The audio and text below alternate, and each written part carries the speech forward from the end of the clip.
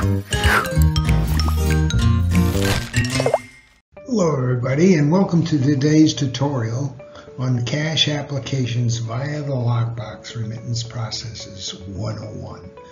An understanding of the basic concepts and remittance processes through a lockbox.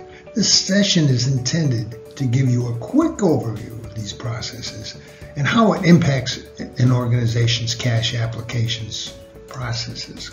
Granted, not all scenarios apply to every organization's methodology, but rather the intent here is to cover the basics. Remember, starting with a good understanding of the basics is always the best place to start. The learning objectives in this tutorial are pretty simple. We're going to talk about the lockbox remittance process concepts. Then we'll cover the four reasons why paper checks are not dead yet and lockbox processing with old technology and then moving on to a semi-automatic lockbox process. And then six questions to keep in mind when you're evaluating traditional lockbox services. And there's a lot to consider now that the technology has changed. And as I go through the presentation, you'll hear some of the pros and cons of of using a lockbox in today's day and age. The concept of a remittance lockbox started long ago, and I can't tell you I, I, when or where it started, but obviously there was a need uh, for and a purpose for this. Not to mention that the um, banks were looking for ways to generate revenue and also to hold on to funds overnight, which can generate a lot of cash if everybody's using their lockbox system. So let me cover the uh, lockbox itself.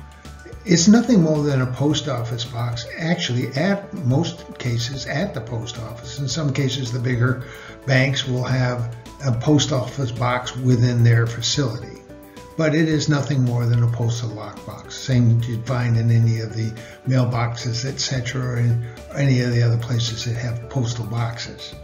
Now, it acts as a place that's secure because it's under lock and keys. Postal system is pretty secure. Uh, and when the payments are received, they're picked up by the bank and taken over to the bank, or in the case where the bank is the lockbox itself, someone goes down to the mailroom, picks it up, and brings it upstairs. The purpose is originally sold as it's close to the customer, so your t- mailing time across the country will be less if you're in New York and your customers in in uh, California. It makes sense to have the post office box as close to the customer as possible. When this was set up, mail time was a day, maybe two. If you had a weekend, that's four. Now, today, it could be five days and it's across the street from the post office. So things have changed, but the, the lockbox is certainly not compensating for that.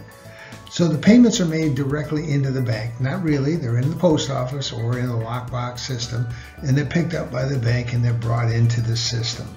Now, the banking system says, well, now that we have that the checks, you don't have to fill out a deposit slip. We'll do that for you.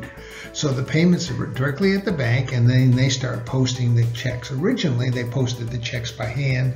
Then they moved from uh, hand posting to technology using uh, OCR and keying, if you can call keying technology.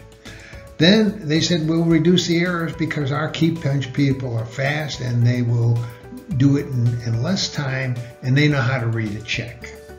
So I have less errors in the posting of the checks.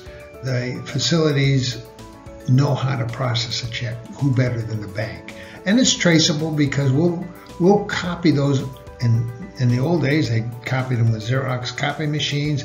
Then they moved to CD-ROMs, and and now they've moved it to the internet. So the traceability is there. You can actually see a copy of the, the, the item. And today they don't even return them.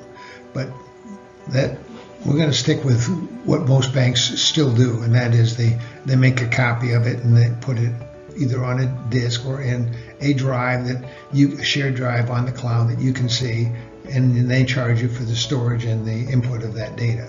and they provide additional services, and those could be anything from keying in the remittance advice to copying the remittance advice for the their customer to key it in themselves into their system. There are very few interfaces today that does an end-to-end remittance uh, of a check into your ERP or ERP systems. The purpose, again, the benefits were there was shorter mailing time, not true today. There was a higher level of control and security.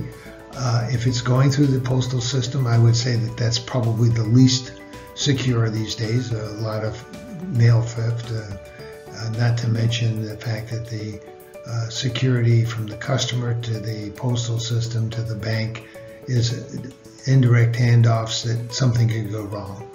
The open invoices are cleared faster, not so. Maybe cleared by the bank and the money's available to them, but it's not going to be faster for the person that's actually going to receive the remittance advice and the uh, copy or the information that was on the check. Uh, they code it with uh, MICR, MECA, MECA coding system, so it's readable to the bank. And again, that benefits the bank. It should benefit you if you know who the person that's remitting the check is from. And it, overnight clearing by the banks. That's true, but you don't get the use of funds overnight.